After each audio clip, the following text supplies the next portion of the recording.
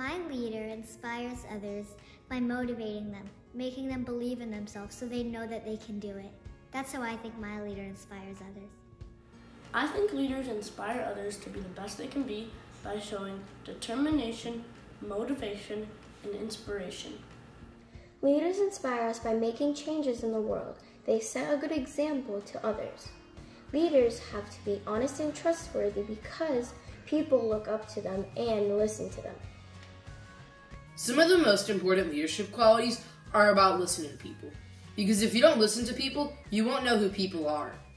I think some qualities a leader should have is hardworking and caring.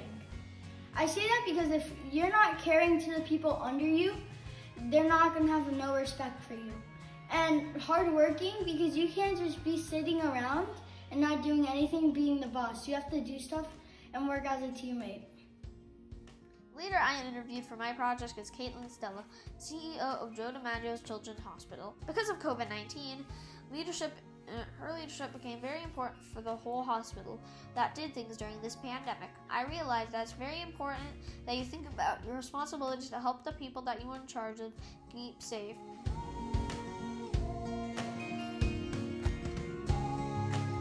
I think a leader should always have respect for their employees. For example, my leader named Gaston would always respect their employees and he would always embrace an idea. He would never let an employee down because he's respectful, like every other leader.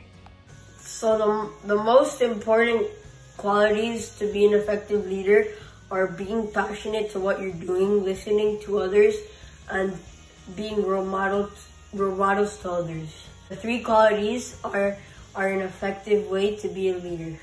The qualities I believe are most important in a leader are listening, skills, and compassion. Effective leaders let other people talk, not just always them. The other person might have a good idea too. They listen when someone is talking and pay attention. They don't cut them off when they're talking. An effective leader also helps people when they need help with something. I think that a leader needs to be well spoken and charismatic to be able to convince people. Second of all, I think that a leader needs to be smart to be able to make the right decisions. Third of all, I think that a leader needs to be quick-witted to make the, the decisions in time. And lastly, I think that a leader needs to know how to take risks because sometimes risk, risks are going to be the right decision.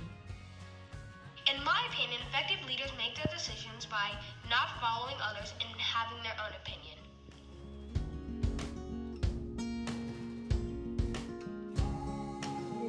When I think of leadership, I think of people that are helpful, patient, determined, and honest. Because you have to be helpful with others. You have to be patient so others know that they can talk to you. You have to be honest so others know that they can trust you. And lastly, you have to be determined because leaders don't give up, they keep on trying. Being able to listen as a leader is good because it helps you bring new ideas to your company or your business and it helps motivate other others by letting them know that you are listening to them. That's what being a leader is. How do great leaders inspire others to be the best they can be? Great leaders inspire others to be the best they can be by being encouraging and positive. Leaders model equality, love, appreciation, and forgiveness. Great and inspiring leaders can find the bright side of any situation. Leaders remain positive in the face of any challenges and failures. They show gratitude and kindness to their peers. Leaders learn to be a good leader by the people around them and the people inspire them. For example, if you see somebody made a poor decision, help them and tell them what's good.